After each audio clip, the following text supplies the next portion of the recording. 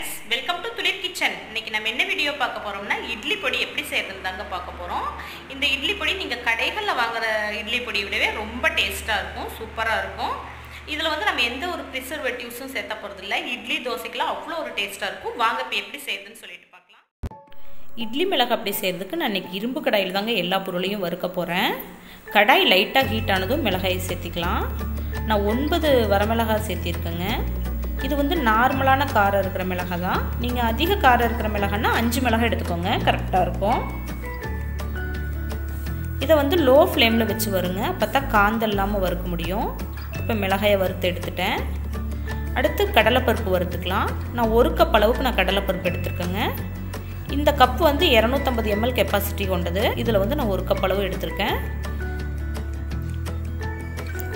இதையும் லோ ஃப்ளேமில் வச்சே வறுத்துக்கலாங்க.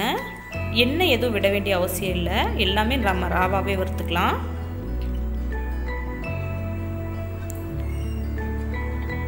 நல்லா செவந்து வந்துருச்சுங்க. நல்லா வாசனை வருது. இப்போ இதையும் எடுத்து வச்சிடலாம். அடுத்து உளுந்து வந்து முக்கால் கப் அளவுக்கு நான் எடுத்திருக்கேங்க. நான் குண்டு உளுந்து எடுத்திருக்கேன். முக்கால் கப் அளவுக்கு எடுத்துக்கோங்க. ஒரு கப் கடலைப்பருப்புக்கு முக்கால் கப் அளவுக்கு உளுந்து கரெக்டாக இருக்கும். உளுந்தும் நல்லா லோ ஃப்ளேமில் வச்சு எல்லா பொருளையுமே லோ ஃப்ளேமில் வச்சு வருங்க. அப்போ தான் டேஸ்ட் நல்லாயிருக்கும் நல்லா ஈவனாக வறுபட்டு வரும். கொஞ்சம் டைம் எடுக்கத்தாங்க செய்யும். ஆனால் டேஸ்ட் நல்லாயிருக்கும் இப்போ உளுந்தும் நல்லா வறுபட்டுருச்சு. அடுத்து கருவேப்பிலை ஒரு நாலஞ்சு கொத்து அளவுக்கு நான் கருவேப்பிலை சேர்த்திக்கிறேன். உங்ககிட்ட வர கருவேப்பிலை இருந்தாலும் சேர்த்திக்கோங்க. கருவேப்பிலையும் நல்லா லோ ஃப்ளேமில் வச்சு நல்லா வறுத்து எடுத்துக்கலாம். நல்லா மொறு மொறுன்னு வறுபட்டுருச்சு. இப்போ இதையும் எடுத்து வச்சுக்கலாம். சீரகம் அரை டேபிள் ஸ்பூன் அளவு மட்டும் சேர்த்திக்கலாங்க. கொத்தமல்லி ஒரு டேபிள் ஸ்பூன் இது நல்லா வறுபட்டதும் எடுத்துடலாங்க. கடாய் நல்லா ஹீட் ஆனதும் உடனே வறுபட்டுருச்சு.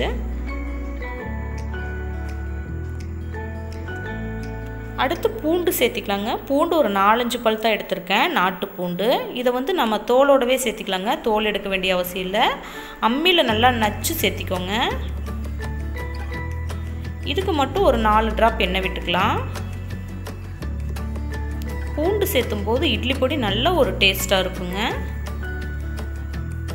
லோ ஃப்ளேமில் வச்சு நல்லா வறுத்து எடுத்துக்கலாம். இப்போ பார்க்கும்போது உங்களுக்கு கொஞ்சம் இதாக தாங்க இருக்கும். நல்லா ஆறுனதுக்கப்புறம் அது நல்லா கிறிஸ்பி ஆயிரும். அடுத்து வெள்ளையல் ரெண்டு டேபிள் ஸ்பூன் அளவு இருக்குங்க. இந்த கரண்டியில் வந்து ஒரு கரண்டி எடுத்திருக்கேன். டேபிள் ஸ்பூனில் ரெண்டு டேபிள் ஸ்பூன் அளவு வரும். இதையும் லோ ஃப்ளேமில் வச்சு நல்லா பொரிஞ்சு வர்ற வரைக்கும் விட்டு எடுக்கலாம்.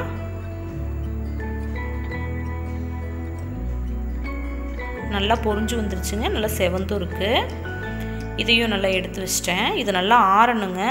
இப்போ பெருங்காயம் வந்து ஒரு டீஸ்பூன் அளவுக்கு சேர்த்திக்கலாம். உப்பு ஒரு டேபிள் ஸ்பூன் அளவு சேர்த்திருக்கேன். இது நல்லா ஆறட்டும். ஒரு கால் மணி நேரம் நல்லா ஆறட்டுங்க. அடுத்து மிக்சியில் அரைச்சிக்கலாம். இப்போ ஆறிடுச்சு. இதை மிக்சியில் அரைச்சிக்கலாம்.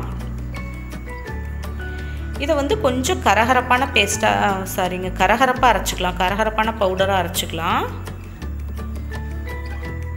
கரகரப்பாக இருக்கும்போது தான் உங்களுக்கு இட்லி தோசைக்கெலாம் நல்லா சாப்பிட்றதுக்கு நல்லாயிருக்கும் நம்ம ரொம்ப ஃபைன் பவுடராக அரைச்சோம்னா டேஸ்ட் அந்தளவுக்கு வராது. நம்ம இட்லி பொடி சூப்பராக ரெடி ஆயிடுச்சுங்க. நான் ஏற்கனவே கருவேப்பிலை பொடி வீடியோவும் போட்டிருக்கேன். அதோட லிங்க் வந்து டிஸ்கிரிப்ஷன் பாக்ஸில் கொடுக்குறேன். கண்டிப்பாக செக் பண்ணி பாருங்கள் இந்த வீடியோ உங்களுக்கு பிடிச்சிருக்குன்னு நினைக்கிறேன். பிடிச்சிருந்துச்சுன்னா ப்ளீஸ் லைக் பண்ணுங்கள் ஷேர் பண்ணுங்கள் மறக்காமல் சப்ஸ்கிரைப் பண்ணிடுங்க ஓகே ஃப்ரெண்ட்ஸ்